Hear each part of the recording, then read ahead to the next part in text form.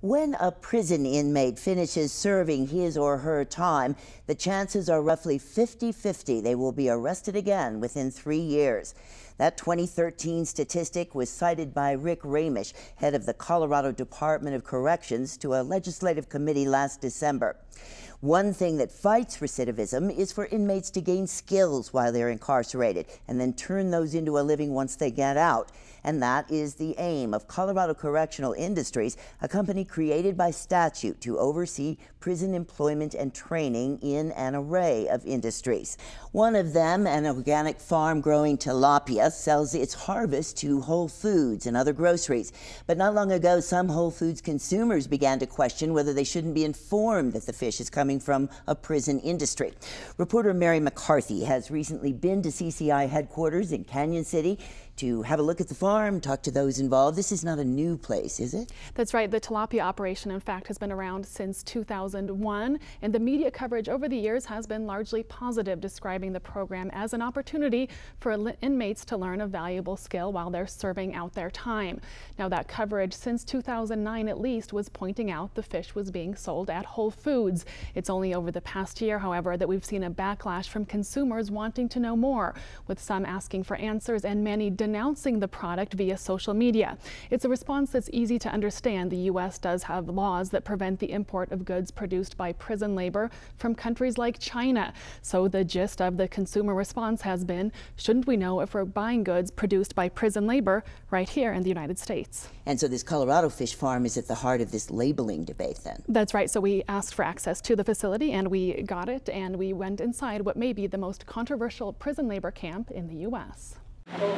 I'm in charge of making sure all the tools and everything are in, make sure feed buckets get refilled. Sometimes I help pull fish to get ready for them to get processed so they can go out to Whole Foods and whatever other places that they have the fish that go.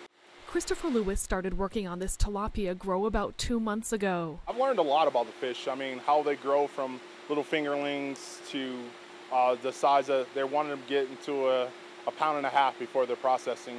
Saul Ibarra has been working here as a driver for 10 months. Out in the free world, I am a driver, and that continues to keep my skill up to where I need it to be. I help the guys out when I'm not running errands on driving. I take the fish over to processing and load them up in the greenhouse.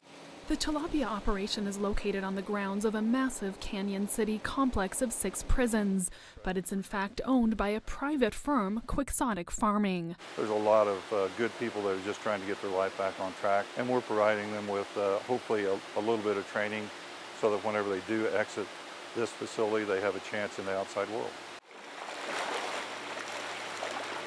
The fish grows are a major source of pride for Colorado Correctional Industries Director Dennis Dunsmore. He was given the top job in March after working for CCI for 25 years. Now we do about um, about 1.2 million pounds of fish a year. CCI says its goal is to provide job skills to inmates and quotes the recidivism rate as proof of its success. The Colorado, the regular uh, general population, the offenders that do not work for CCI, um, their recidivism rate right now is 46.6. Um, uh, and, and, when you come through a Colorado or the correctional industry program, uh, we uh, cut that number in half. Tilapia is just one of dozens of industries on this facility, ranging from furniture and fiberglass factories to raising water buffalo, whose milk is turned into mozzarella, or raising goats, some of whose milk is turned into goat cheese, which is also sold by high end grocers. The idea is, is that we're going to take offenders, we're going to teach them a skill, we're going to keep them busy, uh, we're going to make a profit while we do that so that the program is self-supporting.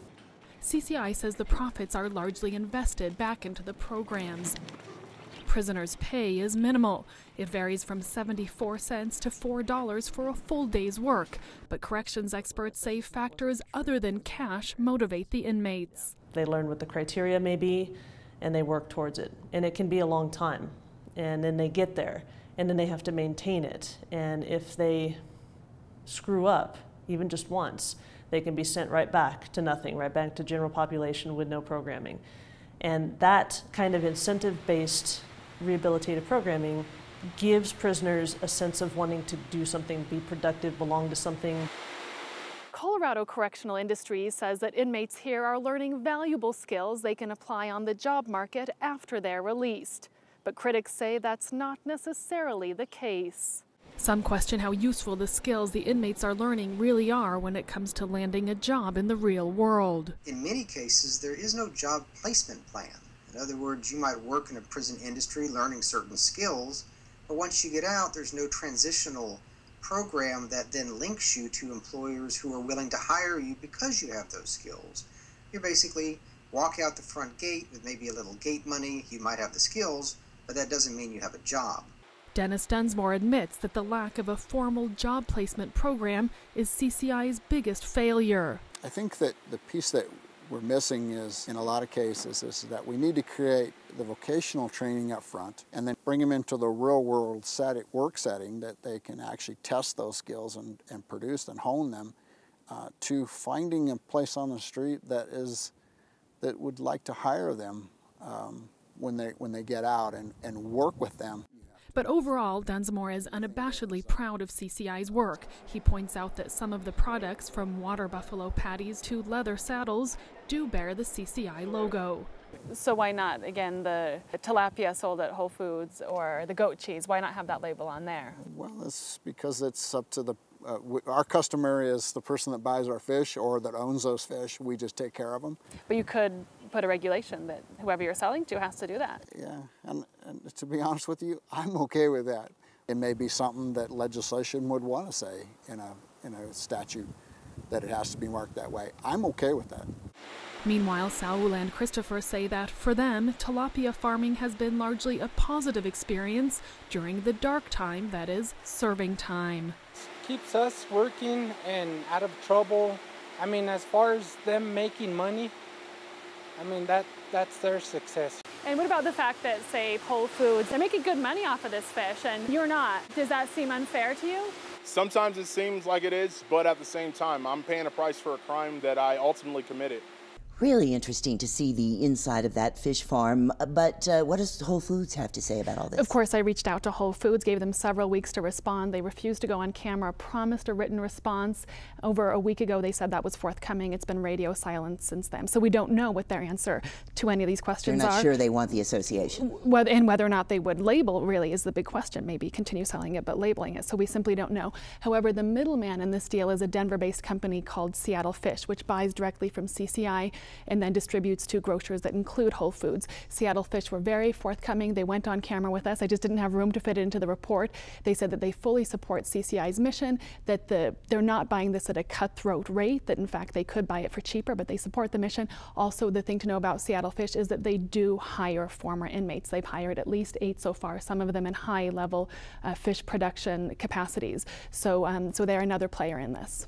So, the Colorado Correctional Industries uh, is not making a great profit. It actually exists as a prison employment and training program. Right. Really, the controversy is over the fact that this is being marked up on the marketplace, but not over profits being made by CCI in terms of most of the experts I spoke to. And most of those, I should say, even the ones who are very critical of prison labor, like Alex Friedmann, who you heard in the report, do believe in these programs. They think they can be improved and expanded, but they do believe in them. They say prisoners should be doing something, but that ultimately prison labor will come under scrutiny, particularly in a country where we have a history of race-based uh, forced labor, slavery, and a country where the legal system does disproportionately incarcerate black and brown people.